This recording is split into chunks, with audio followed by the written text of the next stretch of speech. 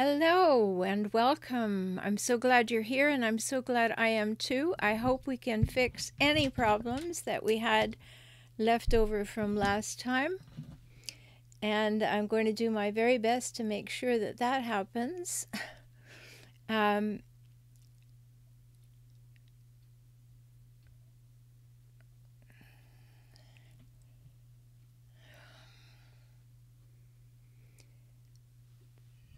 So here I am looking around, looking at my software, looking at everything, wondering if you can hear, wondering what you hear, and um, that's a problem.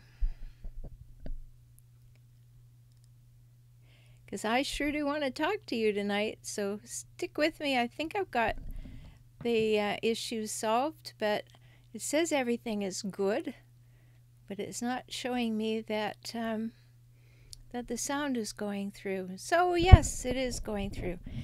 I got my trusty assistant listening in to tell me when it's going through, and that's great. I'm so happy that it is, and I'm glad that you're here, and I'm glad that nothing awful is happening to the sound. So, let me see if I can turn the sound up a little bit. Someone says that it's not loud enough. Um, it's as loud as I can make it according to everything here. So is that better? So many places to look, and I want to look at you and talk, and yet um, that's that doesn't seem to be the case.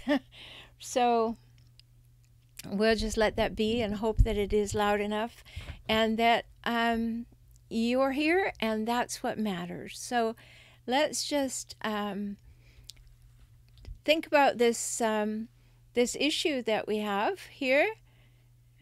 That um, what we're going to talk about tonight, which is the same thing we tried to talk about last time, but it didn't work um, because we had so many technical glitches. And that topic is why we're reluctant to set boundaries and why it's essential that we do. We absolutely must. And if you have difficulty with boundaries at any time, it could well be that that you just haven't learned what's essential to do. So at any time if you have questions, put them in the chat. I'll see them for sure. And um, if you have a comment, certainly put them there too and we will talk about this very important subject. And you know, why don't we why don't we have boundaries? Well, there are so many reasons. You know, one of the things that we seem to tend to think is that if we have boundaries, people won't like us. that if we tell people who we are and how we want things to be, people will think we're being too assertive. And that could stop us from setting boundaries. Has anybody ever felt that way? Because that's certainly something that can happen. That maybe they won't like us. Maybe I should, you know, be really accepting. Maybe I should be compromising all the time. Maybe I should be more available. Maybe I should give everybody more than than the right space. And maybe they'll like me or maybe things will work better or maybe we'll just do it their way. And what happens is we get lost. We get totally lost in the process. So we need to think about these things. And tonight is the night to think about those things. So please say hello in the chat. Let me know that you're here. I keep one eye on that as much as I can so that we can do a good job of answering your questions. So, boundaries are essential because they're like our skin. You know, our skin tells us where we stop and start. And that's an important thing to know. Our skin is a boundary. And yet, we need to set boundaries emotionally. And sometimes we need to set boundaries physically. And that's all things that we want to talk about tonight. How to set boundaries with your words, how to set boundaries, and then make them stick. And if they don't stick, what to do about setting consequences, because you're certainly going to need that too. So you can see how very important boundaries are. And that we may be reluctant to set them, as I said, because we don't think it's very nice. Hi, Roy. Welcome to the program. Maybe we don't think it's very nice to set a boundary because maybe somebody will be offended. Maybe they won't like us. Maybe they'll walk away. Maybe they'll think we're harsh. Maybe they'll think we're too assertive. But what if I told you that confidence is what's demonstrated by setting a boundary? And it shows that you care about yourself. You care about yourself well, and you're willing to set a boundary. Yes, I do remember you. That's a long time ago, but welcome to the program, Roy. I'm glad you're here. And please, anybody, sign in and let me know that you're here. I'd love to see your name in the chat. So, these boundaries, so we need to be able to clarify them. We need to know how to do that. We need to know how to express them. We need to know how to maintain them once we've expressed them. Then we need to know what to do if we need to set a consequence, and then what to do after we've set that consequence. And when we do that, you'll feel confident you know, and for a little while it might seem really strange. It might seem like out of your comfort zone. But you'll soon see that people appreciate this. They truly do appreciate this. And it may not they may not respond as though they appreciate it, but they appreciate it in this way. They know where they stand. And some people don't want to stand there. And that's why you need to set a boundary because you need to be able to say, no, you stand over there. Don't get so close.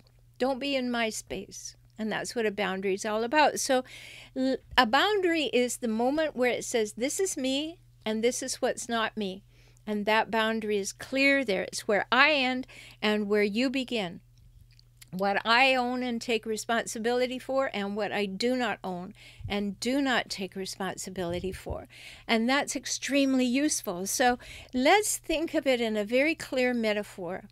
Let's think of you being a house and you have a piece of property and you're going to put a fence around it because you want to be very clear. I will mow the yard up to here, but I won't mow the yard out there. I will take care of everything inside, but I will not take care of things outside. So I have a fence, and it's very clear what my responsibility is. And then, if I'm smart, and I hope everybody does, you put a gate or two in the fence so that you can let people in that you want to let in and closer. And you can put people out that you want to keep out and further away. So you can let the good in and you can let the not so good out. And that's very important. So just think about it where my yard ends and where your yard begins, and I control the gate. You don't control the gate. I control my gates. So if you hold that metaphor, that might be helpful to you. And so in your own life, you need to know the edges, just like you need to know the edges of your property so that you can express them. You know, there's a reason that when you go to the property office and you register your property, it is very, very clear. Those parameters, the exact measurements, the exact space that is yours. And that's what I'm inviting you to consider being able to give voice to in your life. So, is this something that you're doing already? Just put it in the chat if you are. Because you may feel good already about your boundaries. That may feel like you're already in that in that frame of mind where you're setting them. What's your experience with that? Love to hear that. Put it in the chat so that you have some experience with either having porous boundaries where people could just kind of walk over them as though you don't have a fence. You know, that kind of thing in subdivisions where nobody has a fence. You don't know where the yard ends and, and the other begins. But if you go into the neighbor's yard, they don't like it, but you didn't know that that was the neighbor's yard. you know, that's a very useful metaphor for us when we're talking about this kind of thing. And uh, I hope you'll think about that clearly because we are responsible for our yard. Nobody else is responsible for our yard. And we're responsible for ourselves in that yard. But then, not beyond that. Not beyond that. And we need to be able to give voice to what is within the yard and what is outside of the yard. And we need to have those fences and we need to have those gates in good working order. And if you've ever had abuse in your life, you have had your boundaries trampled. No question about it. You have had your boundaries trampled. And when you have had boundaries trampled, especially when you're young, they don't usually come back up. They don't do it of their own volition because you never learned how to build that fence. So now, as an adult, it's required to have and build that fence, to make it sturdy, and to have a good gate or two so that you can let people in. And you need to know that those boundaries will allow you to feel much safer than you do where people can get too close, walk all over, trample you, maybe not respect you. So, you know, as I said, we have skin, and that's one kind of boundary, but our words are also a boundary. And words like no. Did you know that no is a full sentence? It really is. I mean, if you don't want to do something, do you really have to explain to another human being why you don't want to do that? Well, if they're outside your boundaries, you definitely don't have to explain it. If they're inside your fence, you let them in with your gate, you may want to explain because they're closer to you and you care because they're within your responsibility. But if they're outside, no. And therefore, no is a full sentence. And sometimes we're afraid to say no because as small children, we really needed those giants to keep us alive. So if we ever said no, which of course every child goes through a period of doing that, but if we continued to say no, the giants didn't like it very well. So we may have learned not to say no anymore. We may have learned to turn ourselves into a pretzel or lie down and be a doormat, and that is never a good way to be. That's never how we want to be, is it? Doesn't feel good. And that's not what we're here to do. That's not why you were given birth. That's not why you came into this world to let other people run all over you, trample you down, maybe make yourself into a pretzel or a doormat. What? So that people will be pleased and happy? No. And if you've been abused, you can see directly why you didn't get a chance to create boundaries. And so now is the time. Now is definitely the time. So remember that you can put your uh, questions in the chat because this show is all about answering your questions. So just let me say, if you haven't been there before, please go to my website at For Relationship Help, just like the name of the show, forrelationshiphelp.com. So much there for you.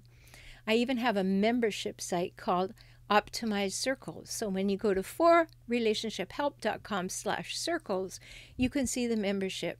And what's in there for you are three different tiers of membership. And the first one is that you can engage in my discussion forums completely off social media. Isn't that cool? because you can have complete safety. Nobody's forming fake profiles over there. Um, this is a safe place for you to engage in conversation, share what's going on with you, ask your questions. I'm in there all the time answering questions. At the second level, you get access to all the videos.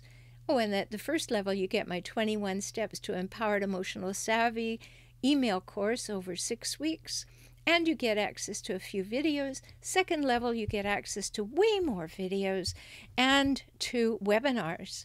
And every month there's a special webinar for those people who register. And then at the third level, you get all that, plus you get two group Ask Me Anything calls a month. So there's lots there for you. If you need more interaction, if you want more from that, please do um, find it over there at forrelationshiphelp.com slash circles. So when we don't have boundaries, what happens? We feel wronged, we feel unhappy, and inside we start to become resentful. So there's a very good reason for creating boundaries. a very good reason why you would want to do that so that you don't end up feeling resentful. Because when you don't have good boundaries, you feel used often. You don't want to feel that way, do you? I mean, that is not a great place to be. So, when we build that resentment, we start then saying, Oh, I've got resentment. Maybe I'm a bad person. We start to beat ourselves up, and then, wow, we're going even further down. So, there's another reason for having good, strong boundaries that will really help you. And the reluctance to set them is simply because you want people to like you. But the actual fact is the reverse is true. When you set boundaries, you'll have the better people around you people who respect you and listen to you and are interested in you, curious about you, and respectful of you. And those people will become more trustworthy folks too. So, all of those pieces are important for you.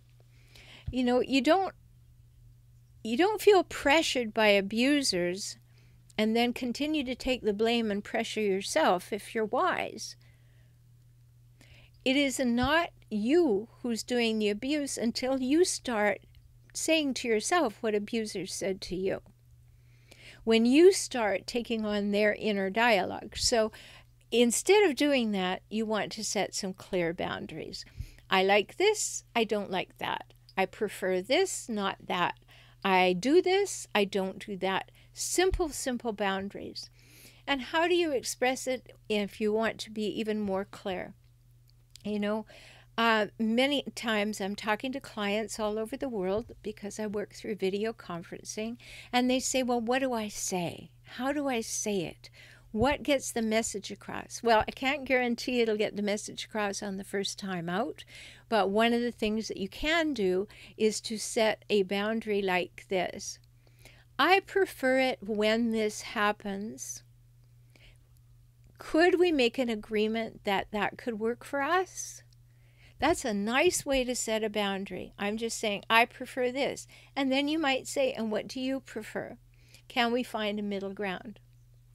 So that's one way that you can do it. For other people who trample your boundaries, you may have to be a little stronger and you have, may have to say, This is okay with me. This is what I prefer. And make it very, very clear. And that's that. Like, that is my boundary. I am not going to negotiate with you in any way. That is my boundary.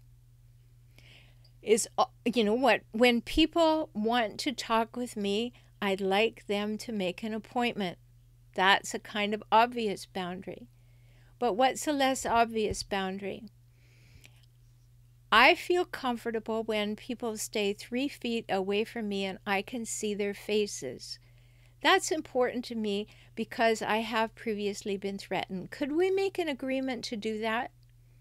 You're setting a boundary. And then you give the person the opportunity to say yes or no so that you can make a decision if you want to be around that person.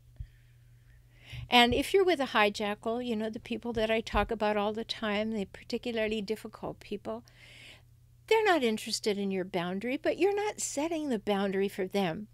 You're setting the boundary to empower yourself, to stake your claim in the world. You say, This is me. This is what I prefer. This is what I want. This is how I need it to be. And you're affirming that and empowering yourself. And you don't do it in any nasty way. You just say, uh, It's not all right with me to be yelled at, and I will leave the room if it continues. You don't put any energy behind it, any screaming or yelling or whatever. You just simply say what your boundary is and then you take steps. So if your boundary is, I, I will not be yelled at, and if yelling occurs, I will leave the room, you've already put somebody on notice that I'm not sticking around for that behavior. And that's fine. Now, yes, I've worked with people who would love to do that because they will interpret my words as if I think the other person is even yelling inside, then I'll walk away. No, we got to be honest about that. If someone actually has a raised voice that is somewhat disturbing and threatening, I'm not going to stick around for it. Are you? No, it's not okay.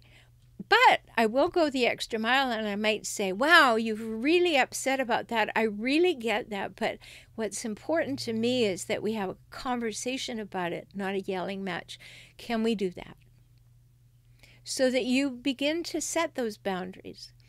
And in the beginning with a hijackal, you are 100% doing it just to say, This is where I end and you begin. and stay away from where I am in that regard. It's a clear boundary. You can't come in my gate. That's where the fence is. So, very important to do and be very clear. Be very clear. Don't, don't leave it wishy washy in any way. The person needs to understand exactly. You may ask them, Do you have any questions? Is there anything else you need to know about how I prefer to be treated, or what works for me, or what doesn't work for me? And so your words define your property for other people. This is how I prefer to communicate my preferences, my feelings, my thoughts, my needs, my wants. I can set boundaries around all of those things. Now, remember, if you have any questions, even if they're not on the topic of boundaries, you're quite welcome to put them in the chat. And I will respond to them because this is our time together each week. And I'm so sorry that last week was messed up because I know that there were eight people on the line and I couldn't get to you. And I'm so sorry. But I'm glad that you people are here now and that you will hopefully enjoy coming each week and that you'll invite people who may need to hear these things too. Because this is our time to just chat to uh, get questions answered and have opportunity to to say what's going on for you. So just put it in the chat. I can see that. So sometimes you need to get physical distance from people. Right? You know, sometimes people encroach on your physical space so badly you know, there's a reason that we have that phrase in our language that says, well, he really got in my face, right? Right up, right there. And we don't like that. But that's a power move to get in someone's face. And so we need to set physical boundaries. And they're very, very difficult if you're with a hijackal very difficult because they like to have power over you. They like to have control of the situation.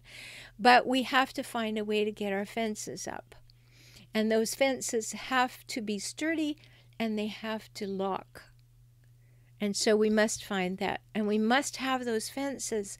And sometimes you have to create not only emotional distance, but physical distance you know, I've worked with people who have been in relationship with hijackals, and we come to the place where someone would express their boundary, and they would say, let's use the example I just used, I will not be yelled at. I will leave the room if yelling continues. And they do that for a little bit and they leave the room, but the person follows them. And so maybe the consequence has to be I will leave the house if that happens or I will go and stay at so and so's house for the evening if I get yelled at. Maybe you have to have consequences that are greater than that. Now, I always tell people in relationships when I'm helping them with their relationship never ever threaten something that you are not prepared to follow through on. Because one of the things hijackals do is they threaten to hurt you, they threaten to divorce you, they threaten to leave you, they threaten all these things. Now, if they threaten to touch you, threaten to hurt you, that's when you call 911. It's really important to do that because threats are a form of assault, and you must think about that. But if, in fact, they are threatening to divorce you, that's a very common hijackal move. In fact, it's a very common relationship move when people are not getting along very well. They simply threaten to leave. They think that if they threaten to leave, then you'll become the supplicant person saying, "Oh, please don't leave. Please don't leave. I'll I'll I'll do what you want." That's true power over. Don't enable them. Don't condone the behavior, don't enable the behavior. Have a boundary. know exactly how to express it, and be very clear about it. So you may have to create emotional space, but you may also have to create physical space. And that may have to get geologically, geographically larger. Maybe geologically too. I don't know. You could climb a mountain or go into a cave, but geographically, you may have to create some distance. Sometimes when people are leaving hijackals, they really do have to go quite a quite a ways away in order to have a life that they can feel safe in. So there have to be consequences to your boundaries at some point. In the beginning, just express them, see if a person with goodwill will hear them, be interested in them, use them to create an emotionally mature relationship. But if you're with somebody who will not and wants to trample your boundaries, you will soon find yourself adding consequences to them. And that's really important because you don't want to be manipulated. And, you know, good boundaries sometimes need an added an, an added piece on the fence, a little bit of barbed wire to let people know that you're serious. And don't be afraid to do that, especially with people who want to maintain control over you or have power over you or think they do, and they start to threaten. So, you know, keep the barbed wire handy if you are with a hijackal because you're going to need that. And don't be manipulated by your compassion because you know they want to tug at your heartstrings. If you're with a covert hijackal, they always want you to feel guilty. They want you to feel sorry for them. They want you to feel like nobody understands them and you could be the person who could rush in and understand them. And what they're really doing is trying to draw you into their drama by making you feel sorry for them or feel like you haven't done enough for them or feel like you've been um, too judgmental of them. And then they sit there with that game, with that game face on. Well, you know, I never get to do anything. You know, you don't even want me to see my family. You know, ain't it awful? He done me wrong. All of that kind of thing. And it's hard to know that you need to have boundaries at that point because you're drawn. You want to move toward them. You want to say, Oh, let me nurture you more. Let me be more compassionate. Let me uh, understand what's happened to you. And then you disappear. You become all about them. You become enmeshed in what it is that they need and want, and you disappear. No, we need to have equity. Remember, I've talked about it before. There are three hallmarks of a healthy relationship, any relationship equality, reciprocity, and mutuality. And if there aren't those three things, you will not ever have an emotionally mature relationship. Absolutely and for sure. So you need to be understanding that you can set boundaries.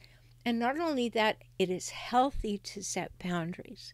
And you need to tend to your fence, keep your gates working, and make sure that you are in charge of who opens and closes the gates. So, those are the things that I wanted to talk to you about tonight about boundaries. I'm going to open it now for questions. And if there aren't any questions on any subject, then we'll leave it there for the evening. But I'll give you a minute or two to put the questions in. And I invite you once again to go to forrelationshiphelp.com and see what's there for you. There's lots of things. Come on over and join the membership circles. Just go to forrelationshiphelp.com slash circles and you'll find it when you're on the home page anyway. So, any questions, any comments before we end tonight? All right, well, seeing nothing, I just wanted to share those things with you. I hope it will inspire and motivate you to think about your boundaries whether or not you have them or you're expressing them regularly enough or you're expressing them firmly enough. And then, if they're firm enough, do they need to have consequences? And remember, if you're with a hijackal, you're doing that for yourself. You are empowering yourself to say what you need and want clearly. And that's a big step. And that's an important step. So, having boundaries is essential.